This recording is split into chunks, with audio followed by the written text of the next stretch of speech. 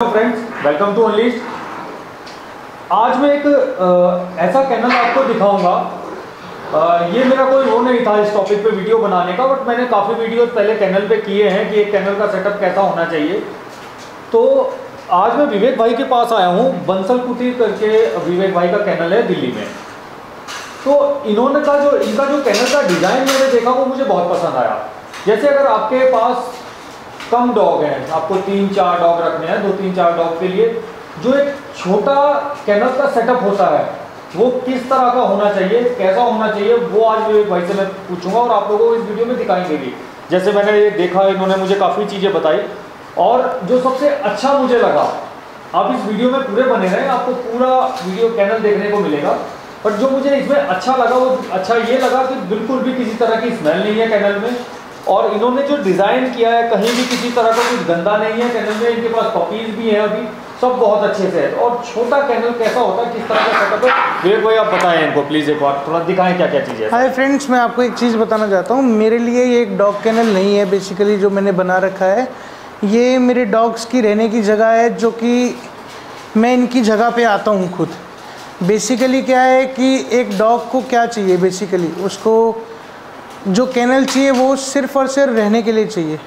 उनको रेस्ट करने के लिए चाहिए। अदरवाइज़ आप कोई भी एक्सरसाइज कैनल के अंदर तो ऑब्वियसली नहीं करा सकते। बाहर मैं इंडस्ट्रियल एरिया में मेरी फैक्ट्री है, यहाँ पर कोई किसी चीज़ के लिए मना नहीं करता। मैं बाहर अपने डॉग्स को एक्सरसाइज पूरी करा के आता हूँ, उनको ट्रेनिंग भी करा के आता हूँ, यहाँ पर पार्क्स हैं, उनके अंदर रनिंग भी करा के आता हूँ गेम भी खिला के आता हूँ। तो उससे क्या होता है कि इनकी एक्सरसाइज बाहर हो रही है, उसके बाद इधर आके इनको रेस्ट करना है। तो बेसिकली आपको इनको एक नेचुरल जो मेन चीज़ें चाहिए, जो हवा चाहिए, ठंडक चाहिए, वो इनको इधर मिलनी चाहिए। इनको पानी अच्छा मिलना चाहिए, इनको खाना अच्छा मिलना चाहिए, इनको क्लीनलीनेस मिलनी चाहिए। क्योंकि अगर आपका हाइजीन मेंटेन रहेगा तो आपके हमेशा डॉग मेंटेन रहेंगे। ये मेरा मानना है, बाकी मैं इस चीज़ के ऊपर बोलना नहीं चाहता बट हाइजीन मेरे लिए मेन है। तो बेसिकली क्या है, मैंने इधर छः डॉक्स का सेटअप सा बना रखा है, जिसके अंदर मैंने एक डीप फ्रीज़र भी रखा हुआ है, जहाँ पर मैं इनका थोड़ा बड़े अमाउंट में चिकन ले आता हूँ, क्योंकि रोज़ मेरे लिए दो दो तीन तीन किलो लेके आना पॉसिबल नहीं है। तो मैं डेली इनका 80 मतलब जब भी जाता हूँ 80 एट्टी नाइन्टी के जी अराउंड चिकन ले आता हूँ, और जो मैंने इनका कैनल बना रखा है, वो सिक्स बाय सिक्स का एक रूम बना रखा है।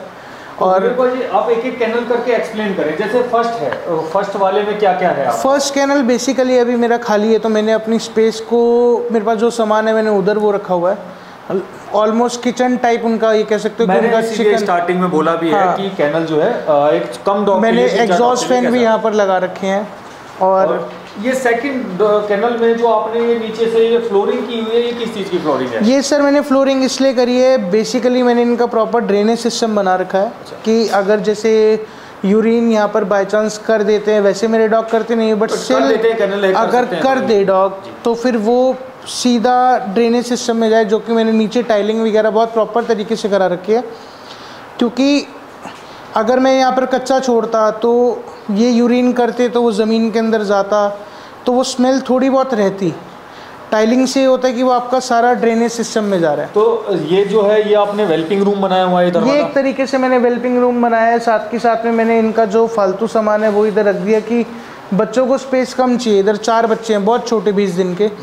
तो उनको ज़्यादा स्पेस नहीं चाहिए तो वो इसके अंदर बहुत इजीली खेल सकते हैं। और आपने जो आपके हेल्पिंग हैंड है जो स्टाफ है यहाँ हाँ पे। जो मेरे पास भैया रहते हैं वो यहीं पर ही सो जाते हैं। हाँ, जैसे पपीज़ वगैरह हुए तो यहाँ पर क्या होता है कि रात की रात पूरा जब मर्ज़ी अगर कोई भी इशू हो तो वो इजीली देख सकते हैं। जो अपनी आँखों से पता भी चले जो परमानेंट यहाँ पर रहेगा ना अगर आपकी आँख भी लग जाए अगर कोई बच्चा दूसरे बच्चे को पकड़ रहा है या बाय चांस वो पॉटी कर दे कुछ भी कर दे तो वो हाथ के हाथ सफ़ाई हो जाती है तो वो ज़्यादा अच्छा रहता है। डॉग कैनल में फेल होने का सबसे बड़ा रीज़न यही रहता है कैनल्स के कि हम कहीं और से जाकर सोचते हैं कि हम थोड़ी देर के लिए गए और सारी चीज़ें मैनेज हो जाएँगी। सर वेरी फ्रेंकली स्पीकिंग रहना बहुत ज़रूरी होता है और मेन चीज़ क्या होता है आपको एक चीज़ मैं क्लियर बताता हूँ। अगर आपके कैनल में क्लीनलीनेस नहीं है ना तो आपका कैनल बर्बाद हो जाएगा आने वाले टाइम में। क्योंकि अगर गंदगी होगी तो गंदगी से वो इन्फेक्शन होगा बच्चे को इन्फेक्शन होगा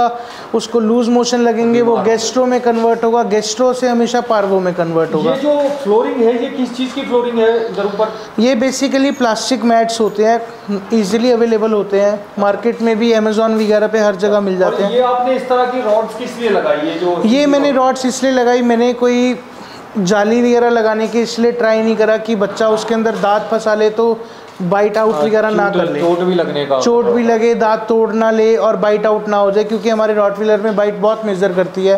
तो मैंने ये इसलिए ये चीज़ लगवाई कि इसके ऊपर दांत वो इजीली नहीं फंसाता कोई बच्चा। और आपने इसकी हाइट कितना रखा है?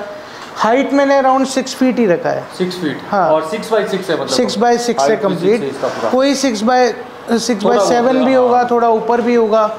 बट सिक्स बाय सिक्स ही है ऑलमोस्ट तो इस तरह की फ्लोरिंग और ड्रेनेज सब सारे सारे के हर एक कैनल में अलग ड्रेनेज सिस्टम है और वो डायरेक्ट बाहर नाली के अंदर कनेक्ट है। एक एसी आपने लगाया हुआ है। एक एसी मैंने लगाया हुआ है दो पंखे लगाए हुए हैं एग्जॉस्ट लगवाया हुआ है। मैं फिर भी अगर कोई इशू होता है छोटे पपीज़ हैं एक कूलर अलग से रखा हुआ है कि इन तक ही हवा पहुँचे। उतना सा कूलर भी लगा रखा है। जैसे अब और हवा की ज़रूरत हो और गर्मी हो जाए तो मैं फराटा भी अपने साथ रखता हूँ कि बच्चों की तरफ़ मुँह करके किसी भी डायरेक्शन में वहाँ लगा दो तो उनको हवा मिलती रहे। कि लाइट वगैरह जाती है तो मैंने इधर ही एक छोटा इन्वर्टर लगाया हुआ है एक बैटरी का कि लाइट जाए।